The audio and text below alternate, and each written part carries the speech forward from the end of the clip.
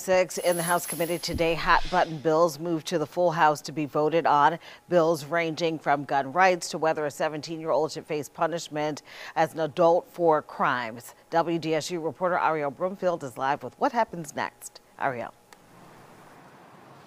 Yeah, Gina, this is week two of that special session, and it continues to draw a line down the aisle on these hot topic issues. Two big bills passed in the House committee earlier today. One is supported by gun advocates, and the second, it changes the age of juveniles being considered adults for crimes.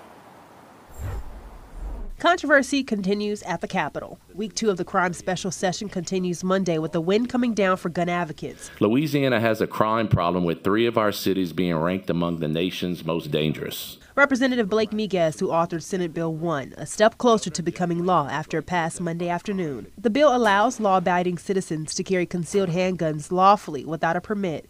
Miguez says the goal is to give citizens more protections against violent criminals with self defense rights. This legislation will not end the concealed carry permitting process.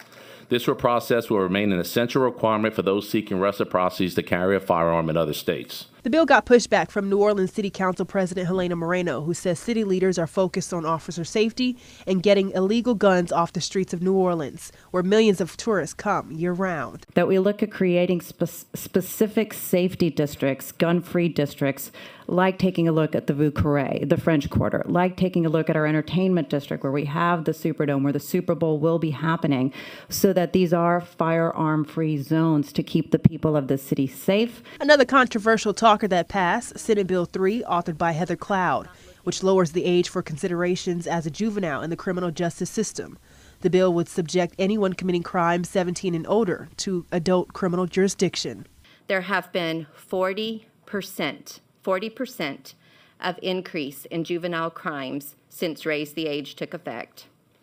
Out of all juvenile murders since Raise the Age took effect, 56% of them were committed by 17 year olds alone. The bill would involve all forms of crimes committed by 17 year olds, not just ones violent in nature.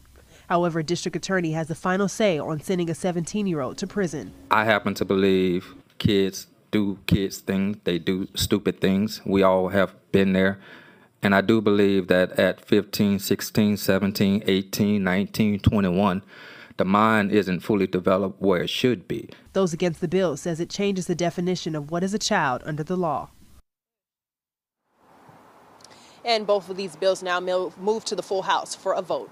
Reporting in New Orleans, I'm Ariel Brumfield, WDSU News. 509.